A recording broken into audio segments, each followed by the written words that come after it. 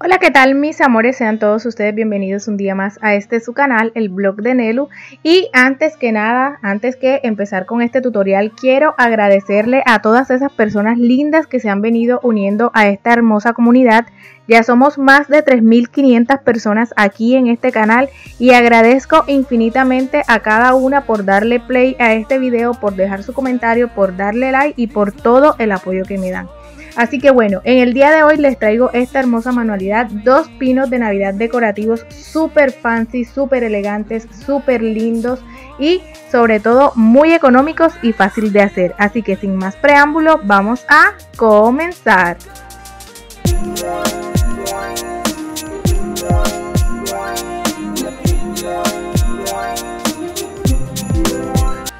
Bueno mis amores, para comenzar vamos a estar necesitando varias tablitas de madera. Estas las conseguí en una carpintería que queda cerca de aquí de mi casa y vamos a estar necesitando también papel de lija. Yo lo que hice fue que le pedí el favor al señor de acuerdo a las medidas que me cortara la tablita y lo que hice fue cortar dos tablas de 40 centímetros, una de 20 centímetros y dos de 10 centímetros. Y el resto fue un cubito que estaba ahí de sobra y me lo traje. Pero si ustedes no consiguen un cubito de estos, pueden cortar 3 de 10 centímetros para que una de esas sea la base de nuestro arbolito de madera.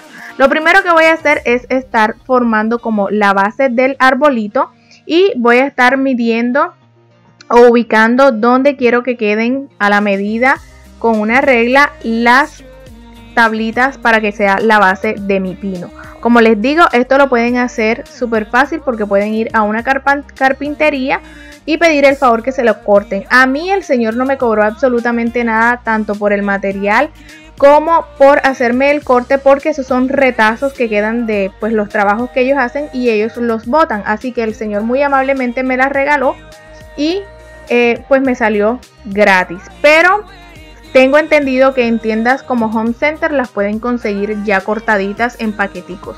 Y bueno, con una puntillita de acero voy a proceder a unir las tablitas y también lo voy a estar haciendo con estas dos de 40 centímetros. Voy a hacer como en forma de triángulo y luego de unirlas con unas puntillitas en la punta también voy a unirla a la base.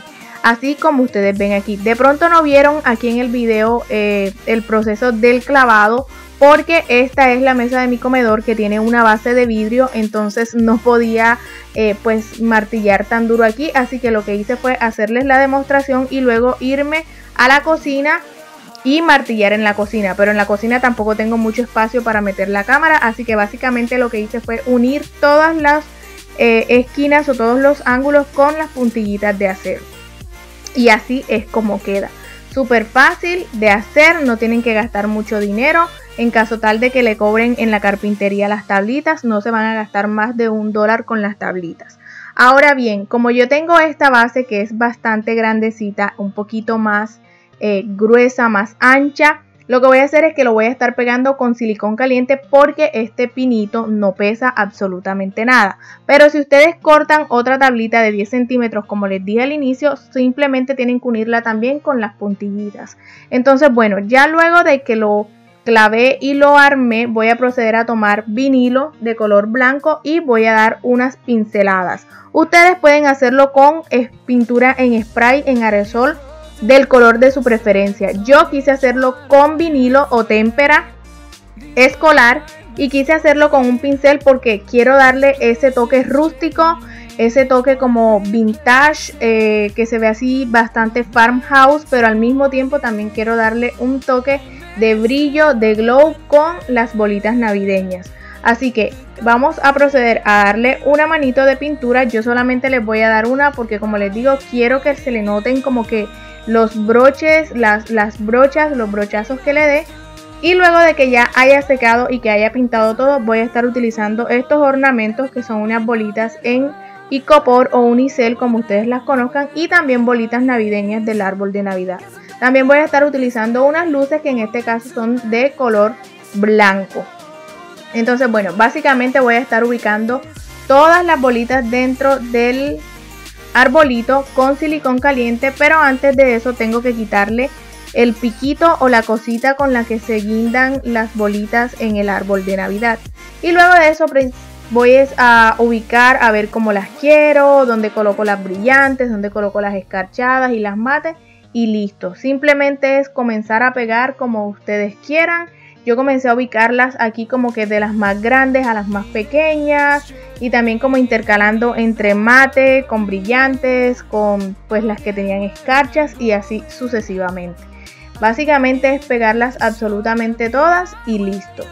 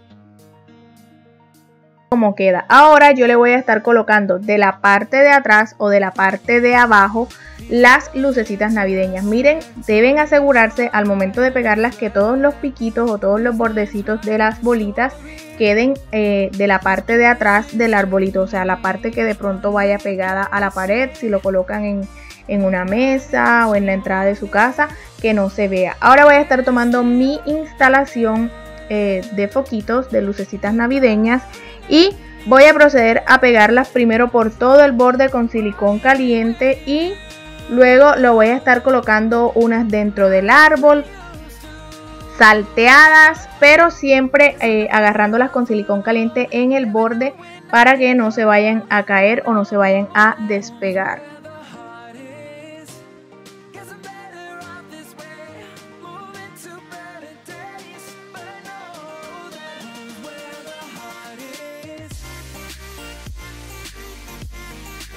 Y bueno, es así como se ve, es así como queda. Ahora, eh, como les decía, yo voy a estar pegando el arbolito sobre la base con el silicón caliente porque si se dan cuenta, miren, como las tablitas están perfectamente cortadas a la medida, incluso queda este, hasta paradito sin pegar, pero yo lo voy a estar asegurando con silicón caliente. Y si ustedes cortan la base del mismo grosor y de la misma medida de las dos tablitas. Estas solamente tienen es que clavarlo con las puntillitas de acero. Y listo, mis amores, es así como se ve.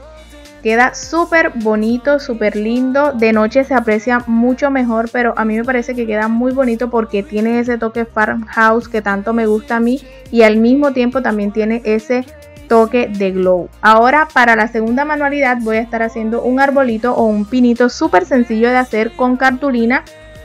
Ya hemos hecho varios aquí en el canal. Les voy a dejar aquí arribita eh, en las sugerencias los videos si no los han visto y también en la cajita de información una lista de reproducción donde pueden encontrar varios de estos pinitos. Los voy a estar asegurando con cinta pegante y luego a recortar todo el borde así como ustedes lo ven aquí. Ya yo tenía uno hecho como para adelantar un poco y que este video nos hiciera más extenso. Entonces, bueno, ya después de haber tenido este pinito en cartulina súper fácil de hacer, voy a estar tomando esta guirnalda brillantica. Esta guirnalda me costó mil pesos colombianos, que pues eso no es absolutamente casi nada. Mil pesos em, es equivale como a unos 30 centavos de dólar o menos. Y lo que voy a hacer es que voy a estar bordeando o rodeando todo el cono de la cartulina con esta guirnalda para cubrirlo. Y eso es todo, básicamente lo que tienen que hacer.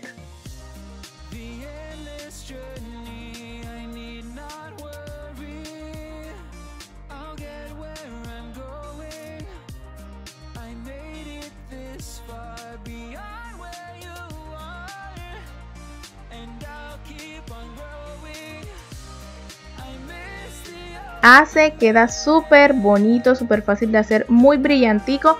Yo tengo ya dos hechos eh, aquí en casa, uno en limpia pipas y otro en foamy que también queda súper lindo. Y lo que tengo pensado es ubicar esos cuatro pinitos juntos. Estos dos que están aquí más los dos que ya he hecho con anterioridad y este es el resultado final, mis amores. Espero que les haya gustado muchísimo esta manualidad. Una manualidad muy fácil de hacer, muy económica.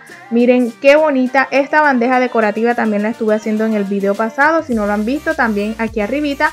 Y de igual forma, en la cajita de información hay una lista de reproducción con todos los videos de manualidades para Navidad que he hecho este año. Así que no olviden abrir la cajita de información que ahí siempre encontrarán los links importantes de mi cuenta y de mis redes sociales. Muchísimas gracias nuevamente a todas las personas lindas que se han unido a esta comunidad. Muchísimas gracias por darle play a mis videos y muchísimas gracias por los likes. Nos vemos en un próximo video y gracias por mirar. Bye bye.